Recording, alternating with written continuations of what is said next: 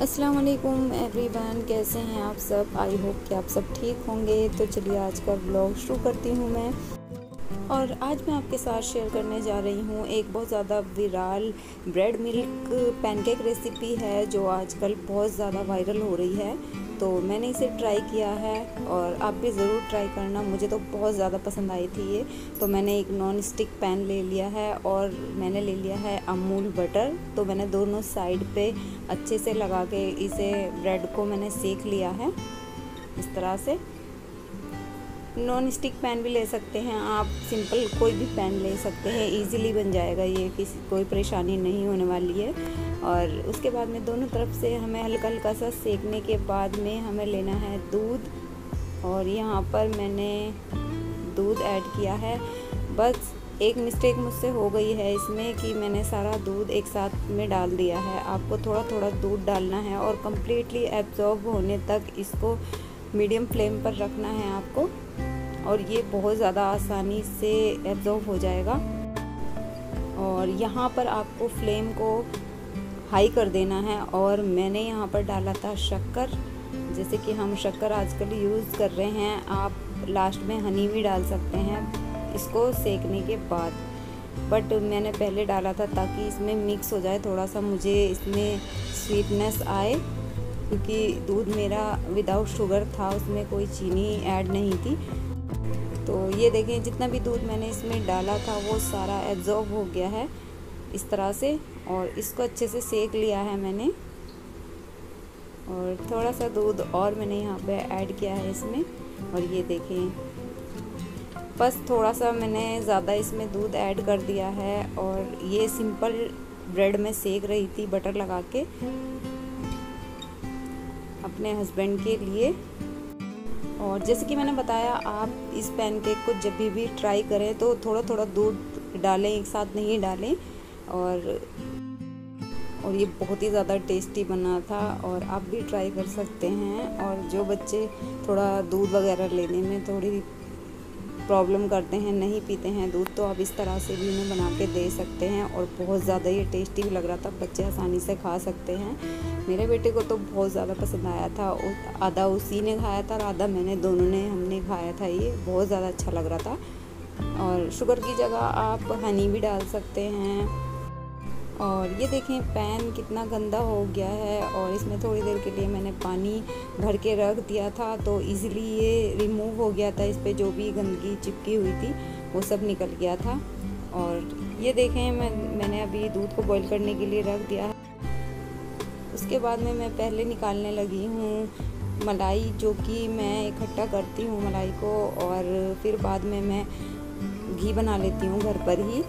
और कुछ और दूध भी मेरे पास रखा हुआ था, उसको भी मैं साथ में ही बॉईल कर दूँगी। और साथ में ही फिर हम नाश्ता करेंगे बैठकर। तो ये देखें, शक्कर है जो कि मैंने कांच के एक जार में स्टोर करके रखी है और बहुत ही ज़्यादा अच्छी लगती है दूध के साथ और बहुत ज़्यादा टेस्ट आता है दूध में भी। अच्छा टेस्ट आता है शुगर से ज़्यादा शक्कर अच्छी लगती है दूध में। और उसके बाद में मैंने सारी डस्टिंग वगैरह कर ली थी, झाड़ू वगैरह मेरा हो गया था, उसके बाद में मैं मॉप लगाने लगी थी और मेरी क्लीनिंग होने के बाद में मैं बनाने लगी थी खाना और प्याज को मैंने चॉप कर दिया था और थोड़ा सा फ्राई करने के बाद में इसमें मैंने चिकन ऐड कर दिया था, हल्के हल्के कट्स लगा के चिकन को मैंने इसमें ऐड कर दिया था। ये देखें। और थोड़ी देर के लिए मैंने इसमें चिकन को प्याज के साथ भुना है इस तरह से। और सभी मसाले मैंने निकाल कर बाहर रखे हुए हैं। उसके बाद में मैंने इसमें डाले हैं खड़े मसाले, थोड़ा सा ज़ीरा, बड़ी काली इलायची, लौंग, तेज पत्ता और काली मिर्च। और इनको मैं अच्छे से मिक्स कर लूँगी ताकि ये मसालों का फ्लेवर अच्छे से चिकन में आ जाए। ये देखें, अच्छे से मैंने इसको मिक्स कर लिया है। उसके बाद मैं कुछ देर के लिए इनको छोड़ दूँगी ऐसे मिक्स करके। ये देखें। कुछ देर में इसको पकने दूँगी। और बाकी मसाले इसमें ऐड करूँगी। मैंने थोड़ा सा धनिया पाउडर इसमें ऐड किया है, हल्दी पाउडर और थोड़ा सा नमक इसमें ऐड किया है मैंने। ये देखें। और इनको भी अच्छे से मिक्स कर लूँगी। और हल्दी थोड़ी मैंने एक्स्ट्रा डाली है कौरमे में थोड़ी कम हल्दी डाली जाती है बट मैं बनाने लगी थी चिकन स्टू तो ये देखें कलर थोड़ा अच्छा ही होना चाहिए, इसका हल्दी थोड़ी ज़्यादा डलती है इसमें।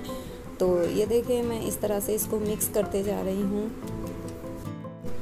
और फिर मैंने थोड़ी सी लाल मिर्च और हरी मिर्च को कट करके मोटा मोटा कट करके मैंने इसमें डाल दिया था। ये देखें। टेस्ट के अकॉर्डिंग आप यहाँ पर हरी मिर्ची और लाल मिर्ची इक्वल क्वांटिटी में ऐड कर सकते हैं और मैंने यहाँ पर इसको मिर्ची को डालने के बाद में पाँच से दस मिनट पकाया है इसको और उसके बाद मैंने टमाटर को मोटा मोटा इस तरह से ग्राइंड किया है। उसके बाद मैंने इसको अच्छे से मिक्स कर लिया है और मैंने इसको खोल के ही इस तरह से कुछ देर के लिए पकाया है। पाँच मिनट के लिए मैंने इसको खोल के ही पकाया है अच्छे से मिक्स करने के बाद। ये देखें, इसमें ग्रेवी अच्छे से आ गई है। उसके बाद में मैंने इसे आठ से दस मिनट के लिए लीड लगा के इसको कवर करके पकाया था और अब मैं गार्निशिंग करने लगी हूँ। हरा धनिया से और बहुत ही ज़्यादा टेस्टी ये चिकन स्टू बनकर रेडी हुआ था और कोई भी एक्स्ट्रा इसमें स्पाइसेस नहीं थे।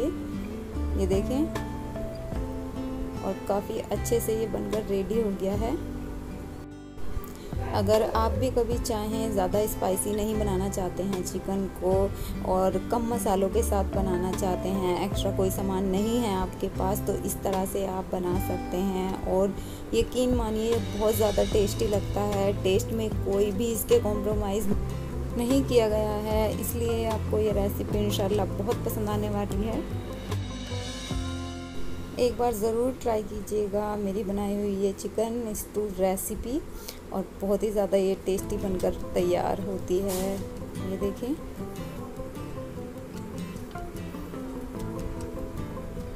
अभी मैं सर्व करने लगी हूँ और इसको डिश आउट करने के बाद में ये देखें इसका लुक और ये बहुत ही ज़्यादा टेस्टी बना है। और टेंडर भी ये अच्छे से हो गया है उन्हीं मसालों के साथ और मैंने इसमें पानी भी ऐड नहीं किया था।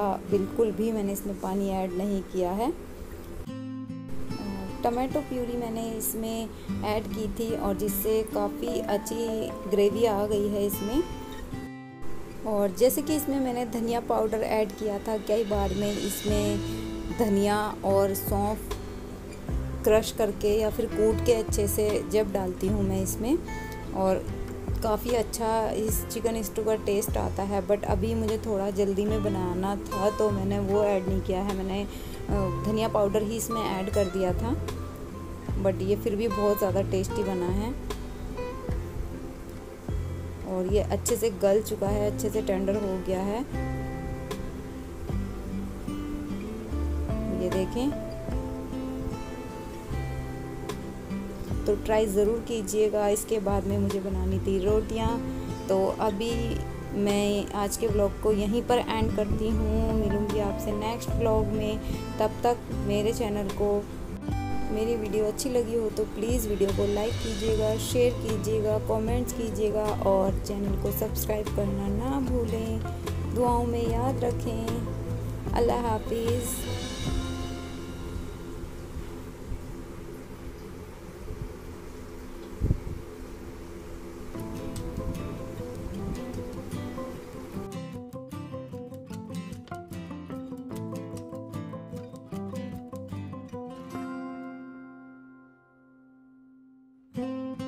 Wing. Oh, Sunday.